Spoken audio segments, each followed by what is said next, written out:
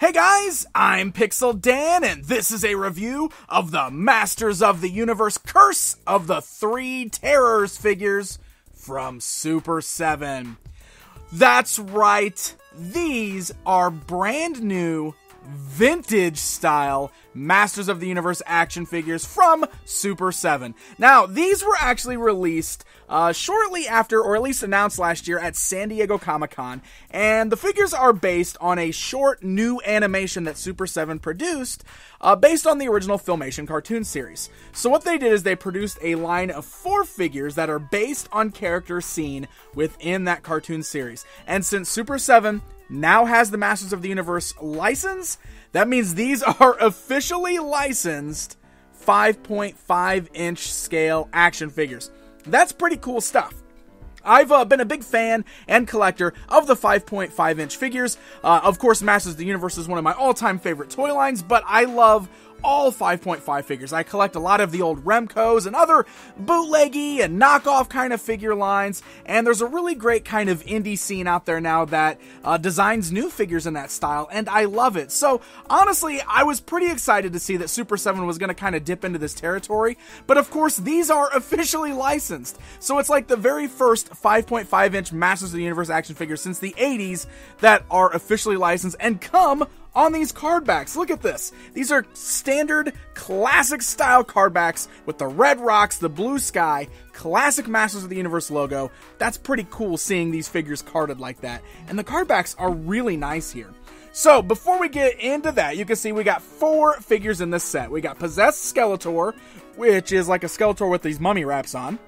And then we have the Terror Wolf, the Terror Jaguar, and the Terror Bat. And like I said, great vintage style packaging. I love it. It feels nice, it's quality made there. And looking at the back of the box, we even have a cross sell that looks a lot like the old one. Look at that. Twist the waist and make him swing his Havoc staff. So he's got the old Power Punch kind of action feature. And I love how they mixed in some artwork of their new figures along with artwork of the original figures from the original line. Looks just like that classic artwork from the back of the packages, which is cool.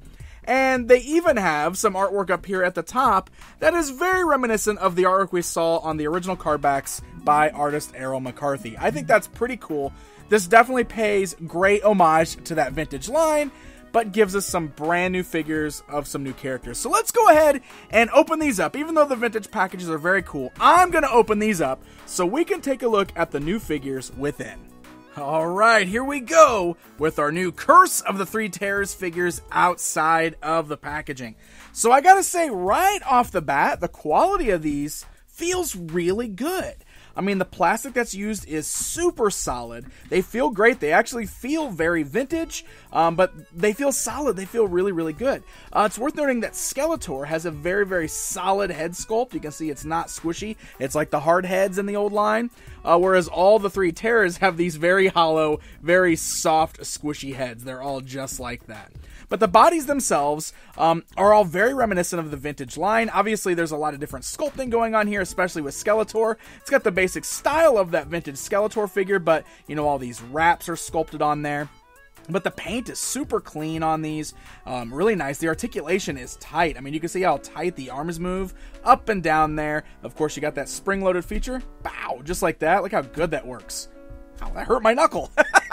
That's a really good spring loaded feature. Um, and then the legs, you can see they are on the little rubber bands, just like the vintage figures. Now, the rubber bands do feel a little thin in there, um, so I'm a little worried about how well that's going to hold up over time. Um, I guess time will tell. Right now, it's nice and tight, you can see, and they stand really great. The legs are not flimsy or loose at all.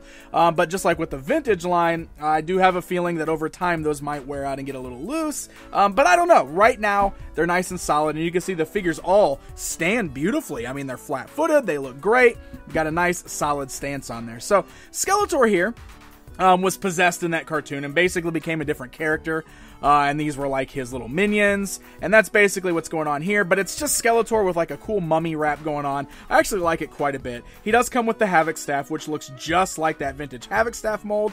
Um, it's a bit of a flimsy plastic, and you'll notice that with all the weapons. It's not as bad with the Havoc staff, but it gets pretty bad with the other weapons. I wish they were a little bit more stiff, um, but you can see he does hold on to it really nice. Gets a good grip on it. Got a cool Skeletor there, a new Skeletor variant with his Havoc staff. So let's go ahead and bring in the three Terrors figures. Now, uh, I think the same can be said for all three of them. The heads are a bit big and a bit goofy. I mean, they do uh, kind of look a little strange and look a little out of place compared to most of the vintage Masters of the Universe figures. However, they totally feel right at home with a lot of the Remcos or the other knockoff lines. And I, I don't know, I kind of love that about these. I think they are super fun. Uh, my favorite one specifically is Terror Bat. I think all around, he's my favorite figure. I think his head sculpt, it's a bit smaller, it's a cool sculpt, uh, and just with the greens and everything, he looks really, really cool.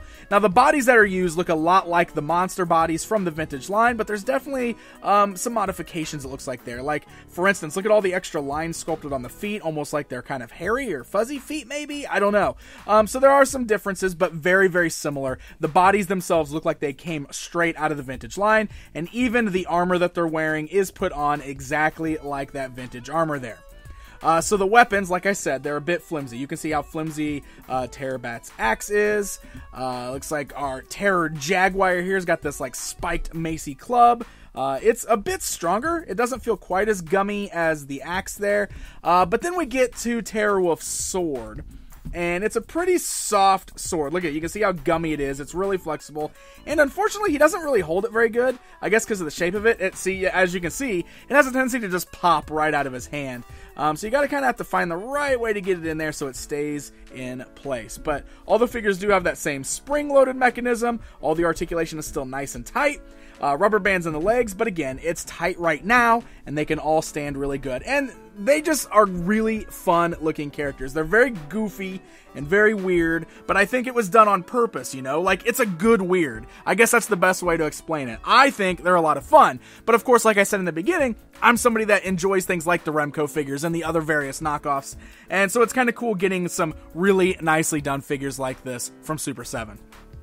Alright, guys, it's comparison time. So here's my vintage Skeletor action figure standing alongside this new Skelly, just to kind of give you an idea of what they look like side by side. You can see very similar in overall design, uh, and the new one there looks pretty good standing next to it. I mean, he looks like he fits right in. And bring He Man in here. You can have He Man battling the three terrors, gives you a good look at what these figures look like standing alongside He Man.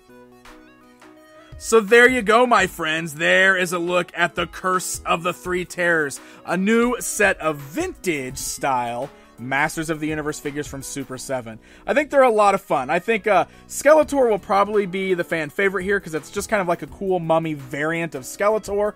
Uh, but the other guys are a lot of fun too. And I really think that those of us out there who already collect the 5.5 figures, who like just that genre in general, I think those are the fans that are going to enjoy these the most, honestly. But if you want something cool that's a throwback to the vintage line, you want some new carded vintage figures, these are really cool. Definitely worth checking out. And I'm pretty excited excited to see what Super 7 does with their vintage line. Uh, you know, we just saw at Toy Fair that they're planning to do some new figures, like a He Man style uh, She-Ra figure, as if she was released in the He Man line. We're getting, you know, a new Filmation Colors Hordak. They're even planning to re release, or finally release, that is, the vintage style He-Ro and Eldor, and I think that's going to be great, and I welcome those additions to my vintage shelf.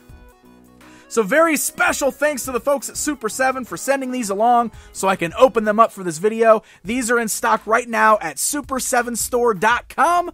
So, happy hunting, my friends. Hey guys, if you enjoyed this video, please hit that like button. Feel free to leave me a comment down below. Let me know what you think of these figures. And don't forget to subscribe. That way you don't miss out on any of my reviews. Until next time, my friends.